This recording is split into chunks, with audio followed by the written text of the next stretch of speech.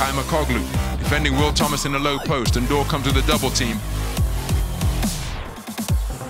And Mike Tobey crushing on top of Maurice Ndour.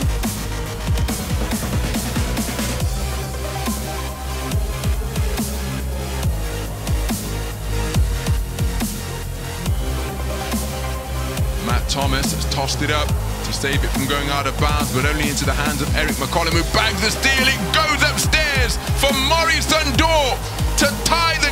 42 points apiece. We have parity for the first time since 3-3. Now BC working on Siva. What a matchup of guards that is. Now BC backdoor cut. Rafa Luz over the top of Giedraitis. Rafa Luz. Get up, big boy. 188. Sastre. Here's Van Rossom. Using Tobey's screen, he rolls inside and completes the alley-oop. Tobey taking to the heavens.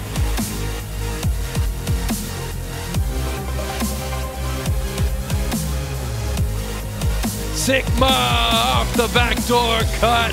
Siva found him, and Sikma raising the roof after almost bringing it down. Another assist for Peyton Siva.